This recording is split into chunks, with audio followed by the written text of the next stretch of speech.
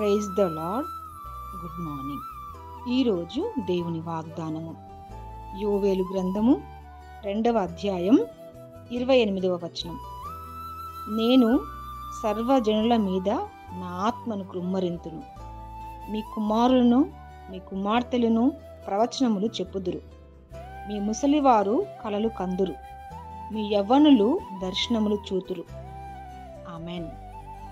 Amen.